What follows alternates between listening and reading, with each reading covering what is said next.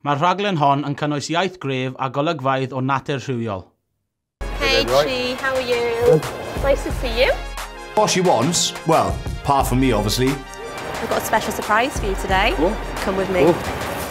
Chidgey done really well at the shoot the other day. I can't wait to show him just how good he really is. What? So Chi, what do you think? That's class. There's me looking at me in a designer shop in town. Amazing, like. I don't know, I'm a bit like... I'm just a bit, I, I don't know, it's a bit overwhelmed, like. This is huge for Chidgey. I am over the moon. This is the start of a new career for you. This is amazing, but it makes me realise one thing. Although it was the hardest thing to leave Nat back in the valleys, I've made the right decision. Like that one. That one's class. Just like seeing this now, it's just like, just makes it all real kind of thing, do you mean? Just imagine, Chidge, this is one shop. In a year's time, it could be hundreds. It just seems too good to be true, like.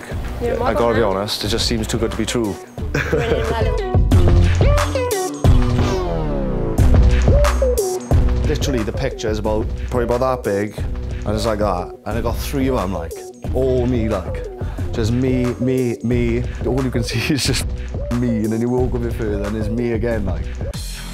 Him, him, him, and even more him. What the I think I just want to be sick all over his ugly face. It's been two minutes, like, and my career's kicking off already, like. It's a miracle he's made it through the door. His head's so big. Hopefully it'll be you two next now, innit? You'll get a chance. Well, mine's come first.